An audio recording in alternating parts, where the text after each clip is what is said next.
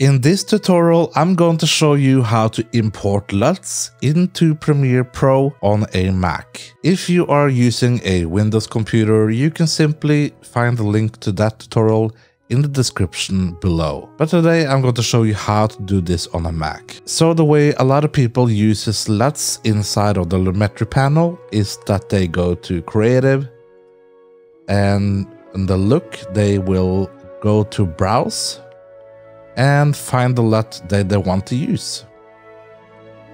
But the problem is, for every clip that you do, you have to do this manually, you have to go and look for the LUT, and it is very time consuming. So I'm going to show you how you can get the LUT inside of this list so you can easily select it each time you need to use it. So the first thing we're going to do is to close down Premiere Pro. After you have closed down Premiere Pro, then we're going to go to Finder, go into your applications and locate Adobe Premiere Pro 2020.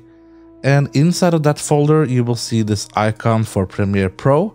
We're going to right click on this icon and show package contents. Then I will get this contents folder. Click on that. Then I'm going to click on Lumetri go down to LUTs. In this case, I want to add a creative LUT, so I want to install them in the creative LUTs folder. After you have found that creative folder, I have opened up my LUTs folder and I want to copy all of these LUTs. So I'm going to copy them right here and go into creative and just paste them into this folder right here. And then you just uh, insert your password for your Mac after you have opened up Premiere again, we can go into Creative, Looks, and at the top here, we see that we have our LUTs installed and we can just select them and apply them to our footage. If you found this helpful, make sure to subscribe and click the bell, and I will see you in the next video.